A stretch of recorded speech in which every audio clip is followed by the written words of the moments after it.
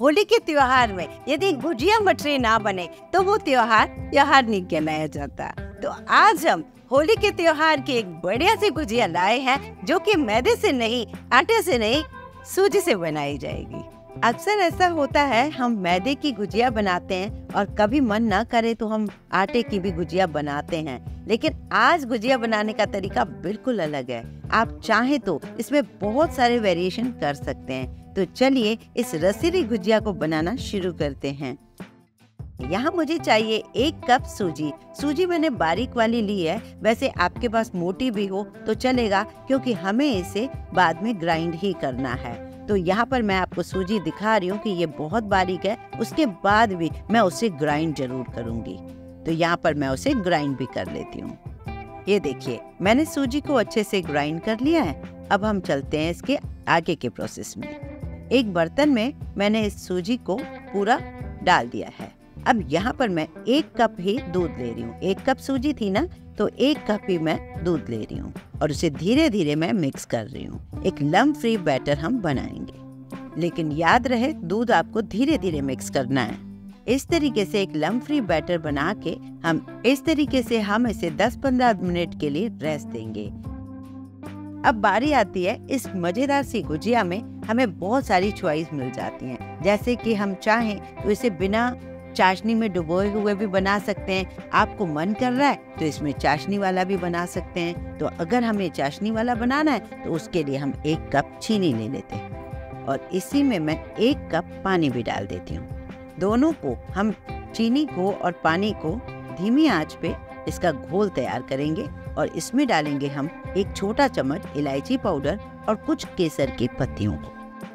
हमें ये चाशनी, चिपचिपी चाशनी चाहिए, जैसे कि हम लोग गुलाब जामुन की चाशनी बनाते हैं। चीनी क्योंकि साफ़ होती है तो मैं कभी भी इसका मैल नहीं हटाती। वैसे अगर कभी आपके यहाँ चीनी खराब हो तो आप पहले चीनी को और पानी को घुलने दिया कीजिए, उसमें दो तीन चम्मच दूध डाल दिया कीजिए। उसके बाद उसकी मैल ऊपर से बाहर निकल आती है। उसे निकालने के बाद ही आपको केसर और इलायची डालनी है। ये देखिए चिपचिपी चाशनी जैसे कि गुलाब जामुन की होती है बस वैसी ही चाहिए। अब बारी आती है इस गुजिया के लिए हमें फिलिंग बनानी है। फिलिंग के लिए आप मावा वगैरह यूज़ कर सकते हो पर मैं जो आपको तरीका बता रही हूँ वो आपको बेहद पसंद आएगा। एक कप ले लिया मैंने नारियल का बुरादा, जिसे डेसिक्रेटेड कोकोनट भी कहते हैं, और हम इसके बदले गोले को भी किसके ले सकते हैं? जो सूखा गोला होता है ना ड्राई फ्रूट वाली दुकानों पे मिलता है, ये भी ड्राई फ्रूट की दुकानों पे भी मिलता है मतलब उसे हम कस के भी यूज़ कर सकते हैं। यहाँ पर मेरे पास दूध है जो कि आधा कप है, लेकिन यूँ समझिए, मैंने डेढ़ कप दूध को उबाल उबाल के आधा कप कर दिया है। मिल्क मेड की तरह नहीं है, लेकिन काफ़ी उबला है। जैसे कि हम कुल्फी वगैरह के लिए दूध बनाते रहते हैं ना, बस वही दूध है और मीठा भी है। इससे होगा ये ये जो फिलिंग बनेगी, बहुत ही स्वादिष्ट बनेगी। आप चाहे तो नॉर्मल दूध भी डाल सकते हो, कोई इश्यू नहीं है। अब यहाँ पर एक पैन लेते हैं, उसमें एक चम्मच घी डालते हैं। उसमें इस नारियल के बुरादे को थोड़ा सा रोस्ट कर लेते हैं, जिससे उसकी खुशबू आएगी और उसका स्वाद भी बहुत बढ़ेगा। धीमी आँच पे इस नारियल के बुरादे को थोड़ा सा भूनने के बाद हम वही वाला दूध डालेंगे जो कि गाढ़ा है। यहाँ देखिए, मैं दिखाऊँगी आपको कितना लगा है। आधा कप पूरा नहीं लगा है वन फोर्थ कप ही डाला है मैंने अभी। मतलब देखा आपने, गाढ़ा किया हुआ, हम अगर एक कप भी दूध ले लेंगे ना तो उसको हम गाढ़ा करके इसमें डाल सकते हैं। बहुत कम दूध लगा है। ऐसा करने से ना, उस फिलिंग में ना स्वाद कई गुना ज़्यादा बढ़ेगा। बाकी चॉइस आपकी है। नॉर्मल दूध डाल दीजिए, एक चम्मच दूध की मलाई डाल दीजिए। ये सब तो हम घर में करते ही रहते हैं। मिल्क पाउडर हो तो वो डाल दीजिए। मतलब कुछ ना कुछ हम अपने हिसाब से वेरिएशन कर सकते ड्राई फ्रूट भी जो आपको मन पसंद हो, वो डाल दीजिए। मैंने इसमें इलायची पाउडर इसलिए नहीं डाला है, क्योंकि चाशनी में कोकोनट का फ्लेवर है, वहाँ मैं इलायची का पाउडर डाल के उसे डिस्टर्ब नहीं करना चाहती। चाशनी भी हमारी तैयार हो गई, फिलिंग भी हमारी तैयार हो गई, इतनी देर में हमारी सूजी को भी रेस्ट मिल गया अब यहाँ पर हम क्या करेंगे, उस घोल को चेक करेंगे। घोल जो है, अच्छे से मिक्स हो चुका है। हमें देखिए, करछी में करके आपको दिखा देती हूँ, कैसा है ये घोल। ये देखिए, ऐसा है। गाढ़ा है। तो अभी हमें करना क्या होगा, इसको एक बार ग्राइंड दोबारा भी करना है। ये देखिए, उसी मिक्सी के जार में आप एक बार डाल दीजिए और एक बार चर्न कर देंगे ना तो ये स्मूथ बैटर बनेगा। आपके जो पैनकेक बनेंगे ना, बहुत ही अमेजिंग बनेंगे। ये देखिए, उसी पतीले में मैं इस पूरे घोल को निकाल देती हूँ। इसके मैं पैनकेक बना रही हूँ, जैसे कि बच्चों को बेहद पसंद आते हैं ना। एक कप मैंने पहले दूध डाला था, दो चम्मच मुझे अभी दूध डालने की ज़रूरत पड़ी, क्योंकि इसकी कंसिस्टेंसी मुझे ऐसी वाली चाहिए। यहाँ मैंने एक पिंच डाल दिया है नमक। आप देख रहे हैं one fourth teaspoon baking soda डाला है। बिल्कुल भी इससे ज़्यादा लालच न करें वन फोर्थ टी स्पून बिल्कुल लेवल में बेकिंग सोडा डालनी। ये मिश्रण तैयार है, तवे पर पहले पहले टाइम थोड़ा सा घी लगा लीजिए, और एक छोटी करछी आप देख रहे हैं मैंने छोटी करछी ली है और उसको फैला दिया इस तरीके से। अब हमें कवर करना होगा मीडियम फ्लेम पर इसे पकाना। जैसे कि ऊपर से ड्राई हो जाए, आप निकाल लीजिए। हल्का सा भी ऊपर गीला दिख रहा है ना, ये गीला जो है, ये सूखना चाहिए। क्योंकि हमें दूसरी तरफ़ से इसे पकाना नहीं है। ये देखिए, ये पीछे से भी मैं आपको दिखा रही हूँ। फ्लेम आपको थोड़ा सा मीडियम रखनी है। ये बहुत स्लो हो गया था, मैं अभी आपको दूसरा बना के दिखा रही हूँ। जिससे आपको अंदाज़ा लगेगा कि करेक्ट हमें कैसी आँच चाहिए। ये जूम करके मैं आपको दिखा रही हूँ, मेरे को कितना बड़ा पैनकेक चाहिए और मैंने एक छोटी करछी डाली है और फ्लेम मेरे को मीडियम चाहिए। अभी भी गीला है ना? ये गीलापन जो है, इसका सूखना चाहिए। तो यहाँ पर मैं आपको एक चीज़ और बताने वाली हूँ कि मुझे एक गीला करके नैपकिन रखना है, जिसमें मुझे इन सारे पैनकेक को रखते जाना है, जिससे बिल्कुल भी ड्राई ना हो और कोई परेशानी ना हो। आप बड़े तवे पर बना रहे हो तो दो दो तीन तीन एक ही टाइम में आप बना सकते हो। बस उसे ढकिए ज़रूर और बढ़िया बनाइए। एक और ट्रिक आपको बताती हूँ, जैसे कि मैंने पहली बार आपको घी लगाते हुए दिखा था, बाद में घी नहीं लगाना है, क्योंकि नॉन स्टिक पैन है, शुरू में लगाना है। और मैं बाद में आपको ये भी बताऊँगी कि मैं पीछे से दिखाऊँगी कि मैं कितना पका रही हूँ।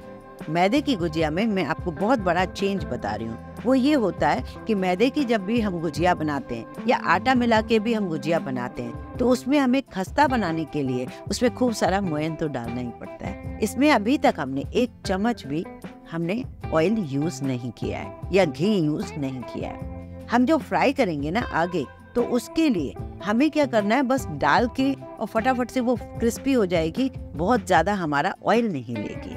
तो ये बहुत ही बड़ा चेंज है इस गुजिया के अंदर। अब देखिए, मैंने टॉवल के अंदर रखा है तो ये बहुत ही नरम और मुलायम बने पड़े सारे पैनकेक देखिए मैंने कैसे बनाए। एक साइड हल्का गोल्डन कलर और एक साइड बिल्कुल व्हाइट कलर अब ये जो दूध था ना हमारे पास, कुल्फी वाला, वो गाढ़ा किया हुआ दूध, सादा भी ले सकते हो। वो साइडों से आपको लगाना बेहद ज़रूरी है। एक चम्मच फिलिंग रखा रखिए और इस तरीके से दबाते जाइए और इसे आप बंद करते जाइए गुजिया।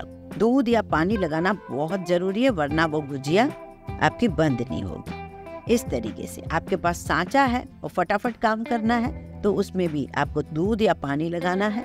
चॉइस आपकी है, आपको हाथ से बनाना है या वैसे बनाना फिलिंग रखिए और इसे ज़ोर से आप उसकी प्रेस करके गुजिया बना लीजिए। ऊपर का अगर कुछ मिश्रण साइड से ज़्यादा दिख रहा है तो उसे भी आप निकाल सकते ये देखिए, ये आपकी गुजिया बनकर तैयार हो गई है। अब इस गुजिया के अनोखे फ़ायदे तो आपने पहले देख ही लिए। एक और फ़ायदा देती हूँ आपको। इनकेस आपको फ्राई करना ही नहीं है तो ये कच्चा पैनकेक नहीं है। ये पका हुआ है आप इसे आराम से यूँ भी खा सकते हो। ऊपर से थोड़ी शक्कर को डस्ट कर दीजिए या दूध की रबड़ी बना लीजिए, उसमें भी डालकर आप खा सकते हो। पर मैं आपको एक और तरीका बताऊँगी जो कि अभी। ये देखिए, सारी गुजिया को मैंने इस तरीके से पैक कर लिया अब चलते हैं पैन में ऑयल डालते हैं। ऑयल अच्छे से गर्म हो और क्योंकि ये कच्चा भी नहीं है तो हमें ना मीडियम फ्लेम पे ना फ्राई करना है। स्लो गैस पे बिल्कुल फ्राई नहीं करना और बिल्कुल भी नहीं ये खुलेंगी, ये मेरी गारंटी है। पर आपको भी ये ध्यान रखना होगा, उसे पैक अच्छे से करना होगा। ना फटेगी, ना बिखरेगी, ना ही कोई प्रॉब्लम देगी। ये जैसे ही गोल्डन कलर की हो जाए, आप चाशनी में डालते जाइए। है ना बड़ी अनोखी सी गुजिया? मुझे कमेंट करके ज़रूर बताइए। आज से पहले आपने इस टाइप की गुजिया बनाई है क्या? हाँ या ना? ये भी ज़रूर बताइए। आपको इस बार होली पे कौन कौन सी रेसिपी बनाने का मन कर रहा है, ये भी मुझे बताइए।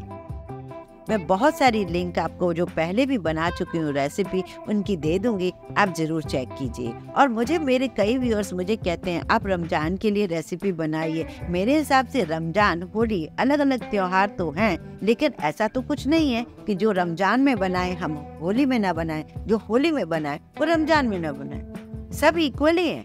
आप बनाइए ना।